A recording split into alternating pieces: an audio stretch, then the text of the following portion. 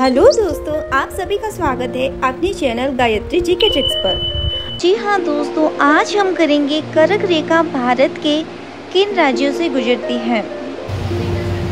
तो करक रेखा भारत के आठ राज्यों से गुजरती है। उसको हम एक ट्रिक के माध्यम से याद करेंगे। तो हमारी ट्रिक है मगरमच्छ झपटा।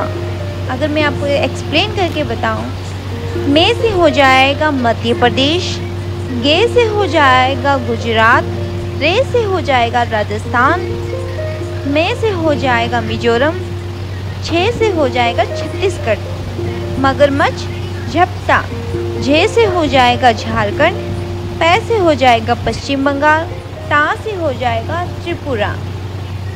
आई होप आपको मेरी ट्रिक अच्छी लगी है। अगर आपको वीडियो अच्छा लगा हो तो वीडियो को लाइक करें, चैनल को सब्सक्राइब करें, वीडियो को शेयर करना ना भूलें। धन्यवाद, जय हिंद।